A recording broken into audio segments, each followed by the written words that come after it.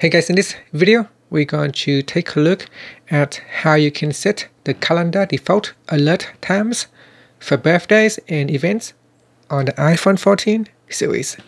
First, let's go back to the home screen by swiping up at the bottom of the screen. And on the home screen, tap on settings.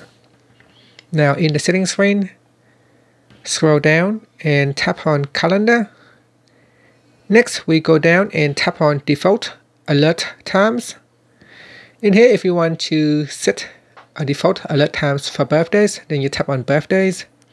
In here, you can choose on day of event at 9 a.m., one day before at 9 a.m., two days before at 9 a.m., or one week before.